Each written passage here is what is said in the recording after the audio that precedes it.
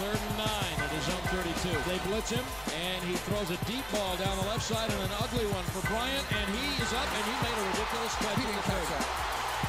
He did not That, catch that. that is the most, I think that is, that's about the most ridiculous catch I've ever seen. Tony Romo just threw that ball having no idea where it was really going to go. Little stop and go to Dez Bryant. He just said, Dez, you go up and make a play. He did.